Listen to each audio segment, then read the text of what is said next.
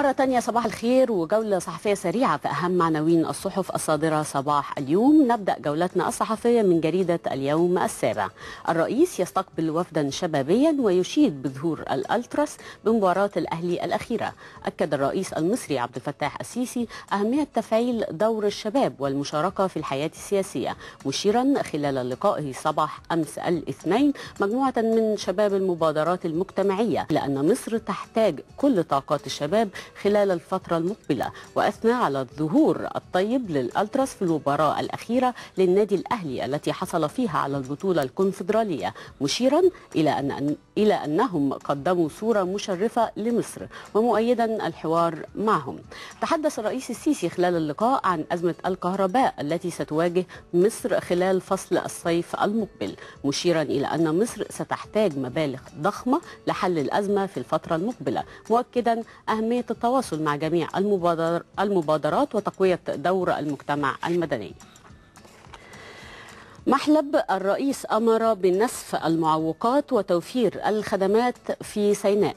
عقد المهندس إبراهيم محلب رئيس مجلس الوزراء اجتماعا أمس لمتابعة جهود تنمية سيناء وذلك بحضور وزراء التخطيط والتنمية المحلية والتعليم والصحة والإسكان والتضامن الاجتماعي والموارد البشرية والري ومحافظي جنوب وشمال سيناء ورؤساء عدد من الهيئات والجهات المعنية. في بداية الاجتماع أكد المهندس إبراهيم محلب رئيس مجلس الوزراء أن هناك تعليمات مشددة من الرئيس عبد الفتاح السيسي بنسف المشاكل والعوائق التي تواجه توفير الخدمات المختلفة بسيناء أو تعترض تنفيذ مخططات التنمية ودفع العمل في المشروعات المختلفة والتنسيق بين الجهات المعنية.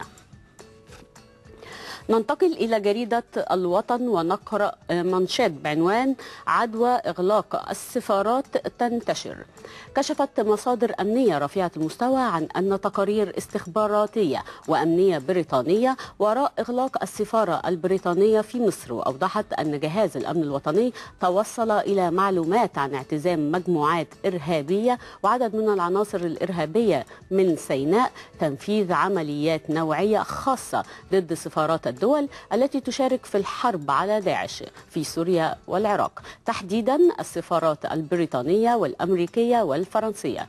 كان عدد من السفارات الأجنبية بالقاهرة قد اتخذ خلال أقل من 24 ساعة قرارات بتعليق أعمالها مبررا ذلك بدواع أمنية حيث علقت السفارة الكندية أعمالها القنصلية أمس أسوة بقرار مماثل اتخذته السفارة البريطانية أمس الأول كما حذرت الخارجية الأسترالية مواطنيها في مصر من هجمات إرهابية محتملة ضد المواقع السياحية والوزارات الحكومية والسفارات.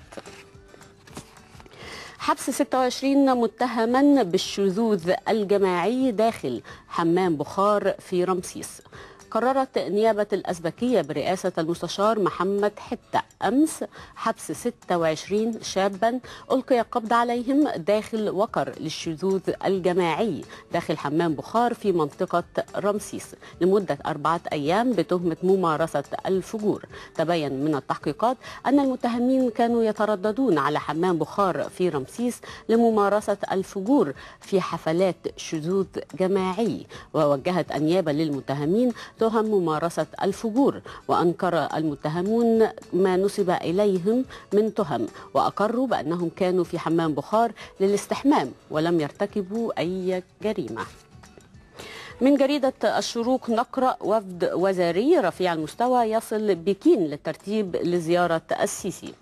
وصل أمس وفد وزاري مصري رفيع المستوى إلى بكين في زيارة يجرى خلالها محادثات اقتصادية مع الجانب الصيني كجزء من الترتيبات المسبقة للزيارة المرتقبة للرئيس عبد الفتاح السيسي للصين.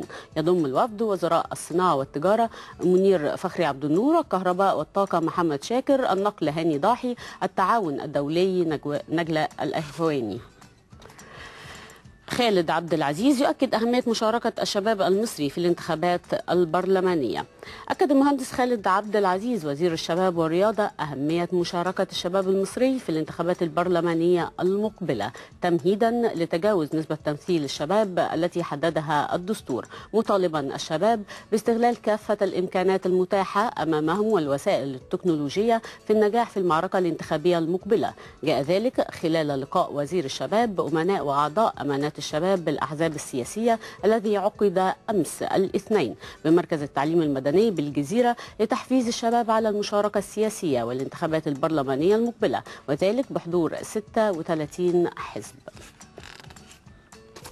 ننتقل إلى أخبارنا الفنية ونقرأ من الشروق الرياضي. رسميا محمد شوقي يوقع للمقاولون لمدة عام ونصف. نجح نادي المقاولون العرب في التعاقد مع لاعب الأهلي الأسبق محمد شوقي في صفقة انتقال حرة بداية من يناير المقبل. وأكد المهندس محمد عادل المشرف على الكرة بنادي المقاولون العرب أن شوقي وقع للفريق لمدة عام ونصف بداية من فترة الانتقالات الشتوية في يناير المقبل. من جريدة الوطن سبورت نقرأ أحمد عادل يغيب عن الأهلي أربعة أسابيع. أثبتت الأشعة التي خضع لها أحمد عادل عبد المنعم حارس الأهلي غيابه عن الملاعب لمدة أربعة أسابيع كاملة بسبب الإصابة في العضلة الأمامية. وكان الحارس تعرض لإصابة خلال مباراة فريقه وسوي سبورت الإيفواري في نهاية الكونفدرالية يوم السبت الماضي والتي توج بها الأهلي في النهاية. من أخبارنا الفنية نقرأ من صفحة الفن لجريدة الوطن 23 ديسمبر العرض الخاص لفيلم زجزاج في نايل سيتي. قال المخرج أسامة عمر في تصريحات لجريدة الوطن إن الشركة المنتجة لفيلم زجزاج قررت إقامة العرض الخاص للفيلم في 23 ديسمبر الجاري بمجمع سينمات نايل سيتي مؤكدا أن العرض الرسمي للفيلم في اليوم الثاني في جميع دور العرض. زجزاج من بطولة محمد نجاتي ريم البارودي ميرنا المهندس عمرو ياسين هلا صدقي عايدة رياض من تأليف أماني البحتوت وإخراج أسامة عمر. أيضا من صفحة الفن باليوم السابع نقرأ عمرو دياب يسلم ماستر فيديو كليب الجديد جماله للروتانا لعرضه قريبا. التقى الميجاستار عمرو دياب بسالم الهندي رئيس شركة روتانا للصوتيات والمرئيات أمس الاثنين في دبي لتسليمه ماستر الفيديو كليب الجديد جماله لعرضه خلال الأيام القليلة المقبلة. ونشر دياب صورة له تجمعه بسالم الهندي على حسابه الرسمي على الفيسبوك. وفي النهاية خبر طريف جدا الحقيقة كان موجود على صفحات جريدة الوطن. وعبد العال رفع حمارا بيد واحدة في أولمبياد الصعيد لرفع الحمير. في مسابقة غريبة وفريدة من نوعها أطلق عليها المشاركون فيها أولمبياد الصعيد. كنوع من الدعاية فاز عبد العال محمود 30 سنة بائع خضار بالجائزة التي تقدر ب 100 جنيه. بعد أن تمكن من حمل حمار بيد واحدة لمدة أربع دقائق متواصلة. تهدف المسابقة التي أقيمت في جنوب الأقصر وشارك فيها سبعة أشخاص إلى قياس قدرة التحمل بين المشاركين الذين يحددون نوع المسابقة ويجمعون قيمة الجائزة بالتساوي فيما بينهم ويحصل عليها متسابق واحد فقط.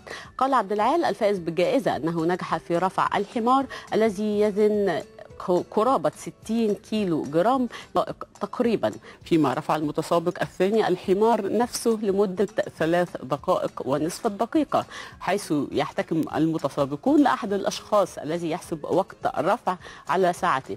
وأضاف أن المسابقة في حد ذاتها مجنونة وطريفة وتخلق جو من الابتسامة والضحك على وجوه المتفرجين. مؤكدا أنها ليست الأغرب بل سبقتها بطولة أخرى يقوم فيها المشاركون بمواجهة مواجهة آلاف الدبابير في عشها ومن يستطيع الصمود لوقت أطول يحصل على الجائزة وهو بالطبع أمر بالغ الخطورة حيث لا ينجو جسد المتسابق من لدغات الدبابير. كده مشاهدينا نكون وصلنا لآخر جولتنا الصحفية. فاصل قصير مجموعة متنوعة من التقارير من الشارع المصري. تابعونا.